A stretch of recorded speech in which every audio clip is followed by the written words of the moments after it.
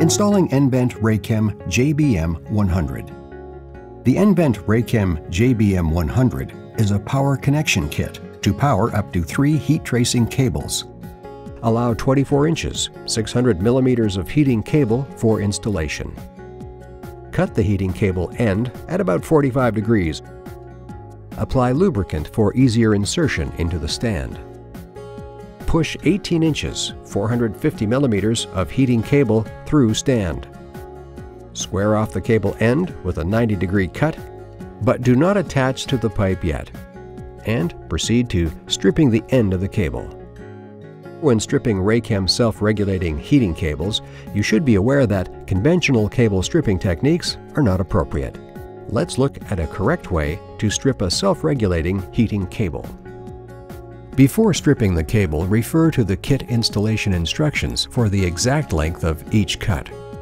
When stripping the Raychem self-regulating cables, use the Raychem SR stripping tool or utility knife. To remove the outer jacket, lightly score the jacket around and down, being careful not to cut too deep into the braid. Bend the heating cable to break the jacket at the score and peel it off. Then take an awl tool or a pointed screwdriver, make a small window in the braid, and bend the cable. Work around the cable and open enough of the braid to pull the cable out. Bend the braid back out of the way and lightly score the inner jacket around and down to peel off the inner jacket. For XTV CT cable, remove the exposed black fibers of the heating element cutting them flush with the inner jacket. Then remove the spacer between the bus wires and trim even with the jacket. For cables BTV CT and QTVR CT, remove the inner jacket and cut down to the black core. Cut a notch in the end. Use needle nose pliers to peel back one of the bus wires and remove all black core to expose both wires.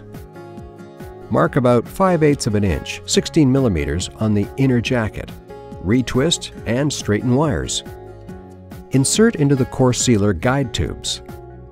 Push core sealer onto the heating cable to the mark made previously and remove the guide tubes. And slip green-yellow tube onto the braid. Trim bus wires and braid, leaving about 1 2 inch, 13 millimeters.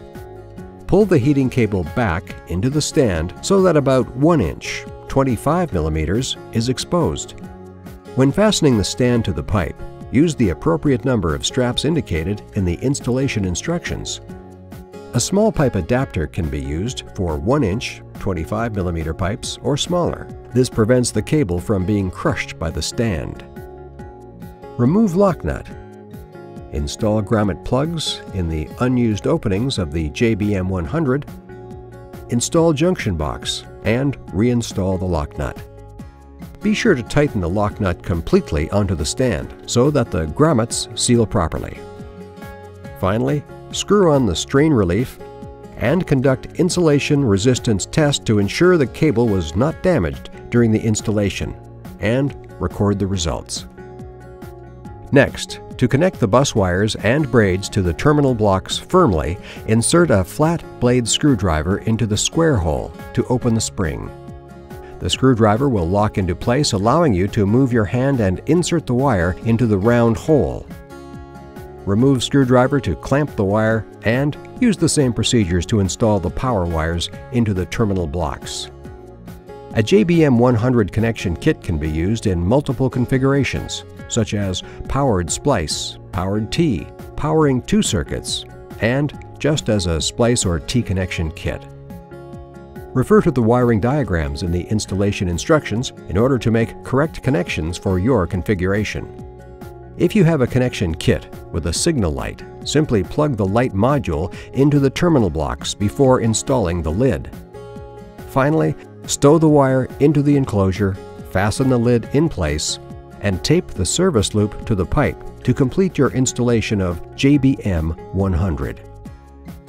Depending on the wiring methods for your region, please use the appropriate conduit or power cable.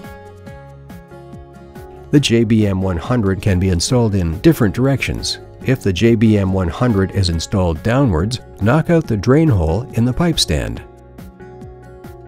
For further assistance and product support, please contact nVent Support or visit nvent.com slash.